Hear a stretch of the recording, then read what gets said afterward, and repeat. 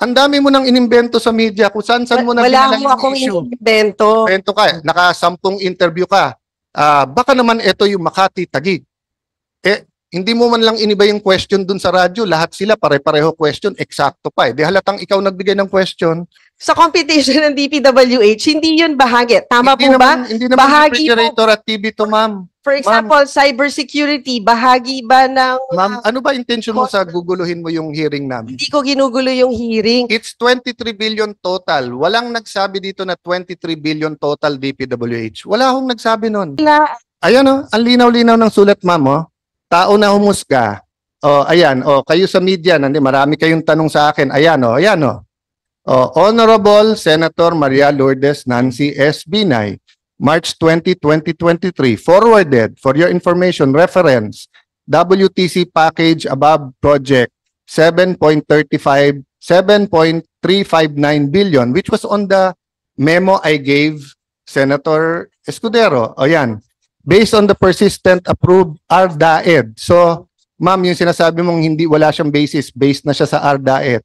And approved DAED plans and covers remaining WTC of the NSBP except electronics auxiliary work. Uh, costing is based on similar items in phase 1 and 2. Siguro, Mr. Chairman, Hindi, tanungin, pa- hindi, para, tanungin hindi, hindi, natin. hindi, Sandali lang. Let me finish kasi importante to eh. Oh, ano nakalagay dyan? The estimated cost was based on the costing of existing contracts on the assumption it will be awarded through another negotiated contract with the same contractor similar to the successful negotiation of phase 2 contract with the presumption that all conditions and ganyan, ganyan. Oh, Conversely, kung ibibid mo 8.54, ang nag-submit sa iyo to si Sir Assistant Secretary Molano. Nag-retire siya, hinire mo. For So- one month. So kung kung wala kang believe sa kanya at hinire mo, eh nire-recommend nga niya na i-ano mo, eh, i-negotiate mo, yan ang amount. So ba't ka galit na galit sa akin ngayon na nire-review ko yung amount na yan? Eh labing limang buwan na sa mesa mo, hindi mo pala Wait, ni-review. Mr. Chairman, hindi ako nagagalit dyan sa amount na yan. Kanina ka pa galit na galit eh. Ma- patapos na kami. Hindi ko nga maintindihan ba anong issue sa iyo sa 23B. Eh di ibigay mo sa akin kung ano yung ibang amount, i-release ko sa media na yun yung amount.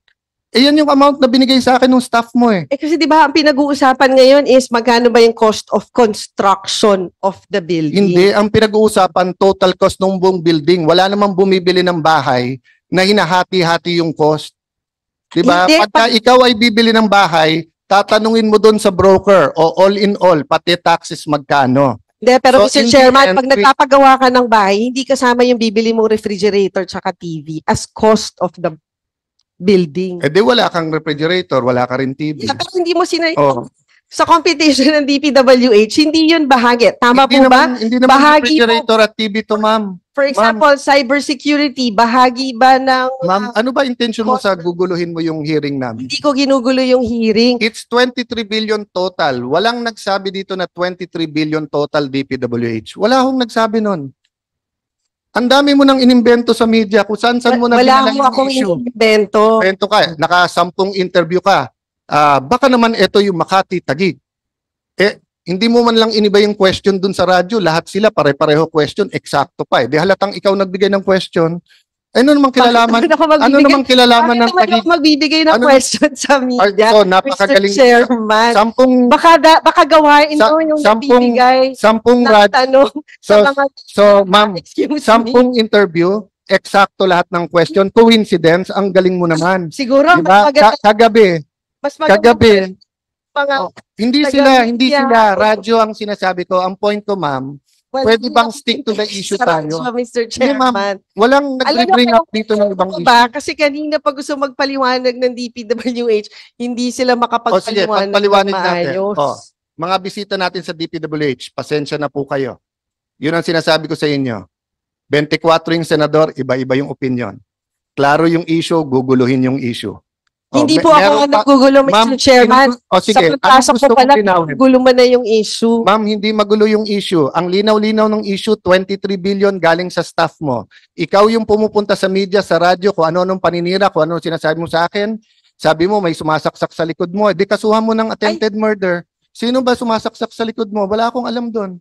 Sige, bubulong ko sa'yo mamaya kung sino yung sumasaksak. Oh, pero hindi ako. Eh, ano kilalaman ko doon is sasabihin mo, Actually, Mr. Chairman, may sinabi ba akong ikaw? Wala akong Eh, sinasabi eh, na ikaw, eh, ha? paano mo sa, sasabihin mo sa media, may kilalaman to sa Tagig at Makati, tapos Oh, pero- sasabihin mo may sumasaksak sa likod mo, ano iisipin nila? Pero Hindi sinabi ko ba na Alan Peter Cayetano ang Hindi. sumasaksak Pero- sa akin? Parang, di ba sabi nila yung pag nagre-react ng ganyan, baka guilty. Ma'am, basta sasabihin ko sa iyo, Lourdes ang pangalan mo, hindi Marites. Kaya ayusin natin to, nakakahiya na. Hindi, hindi po tayo marites, Mr. Kaya Chairman. 23 billion. So anong anong gusto mong linawin diyan? Ipasok natin sa record. Anong gusto mong linawin? Sa DPWH, based on their records, magkano ba yung amount sa kanila? Ito nga ma'am, pinapakita ko na sa iyo ma'am. Ayan, nasa mic kanila. Is that 21 Is that 23 billion? It's 21.7330. But is that 23 billion? If you add the land, But it- it's not 23 billion. Wa- sino ba nagsabi sa kanila na sabi ng DPWH 23 billion ang nasa DPWH? Siguro balikan natin yung mga transcripts ng mga interview nyo din. Ma'am, wala akong interview. Yung sinasabi na Ma'am, 23 billion. Ma'am, wala po akong Ay, interview. Tanungin mo po media, galit na sa akin yung mga yan. Tingnan mo si ni hindi ako nakapagbati ng birthday, ni hindi ko binubuksan yung text niya kasi sabi ko sa kanila, pasensya na po kayo, gusto ko maging fair. Wala akong kakausapin, wala akong interviewin. Ninong ko si Ninong Noli De Castro, tumatawag sa akin, hindi ako nagpa-interview. Marami akong kaibigan sa media, hindi ako nagpa-interview, di ba? Oh. So ano yung transcript na O, saan- sinasabi eh, mo? so, di, kung babalikan natin yon Mr. Chairman, saan galing yung 23 billion?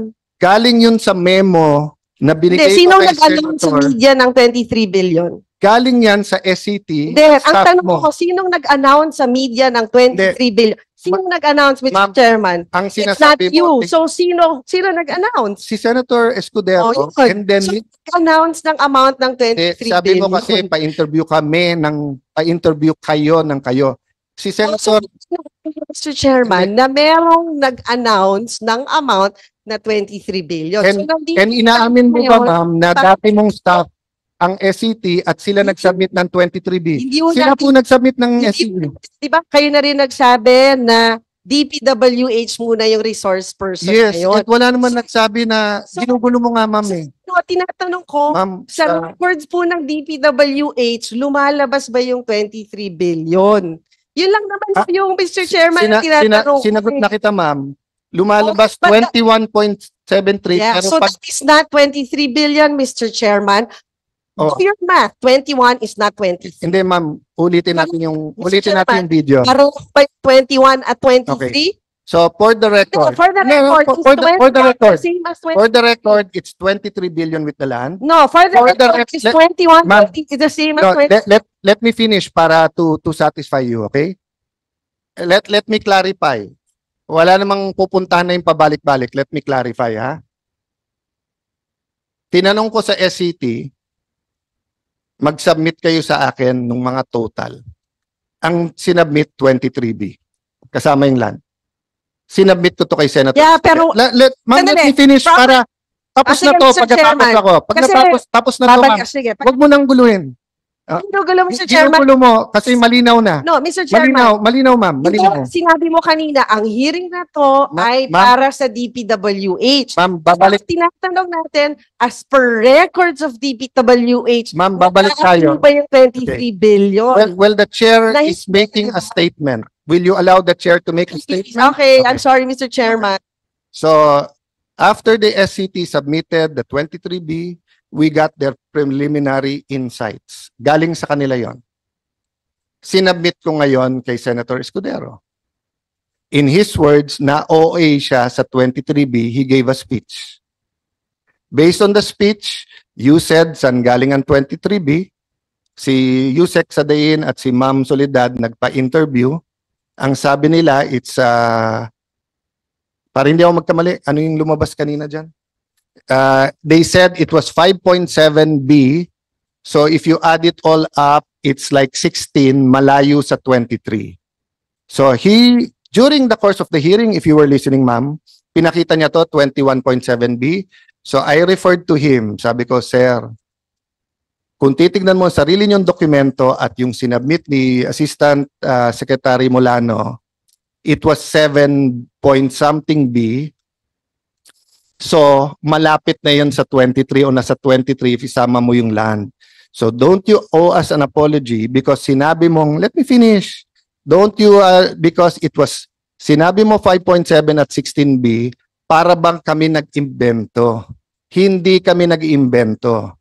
Now, if you want to say imbento yung 23B, then show me what the numbers is and I will talk to the SCT bakit kayo nag-iimbento kung nag-imbento sila. Pero kung hindi, at 23 talaga binigay nila sa akin, ano yung issue? Huwag mo nang pagbalik-balik ta rin na DP ganyan. Ito, sinibit ng DPWH, 21.7. Ayan yung report nila sa Channel 7. Lahat ng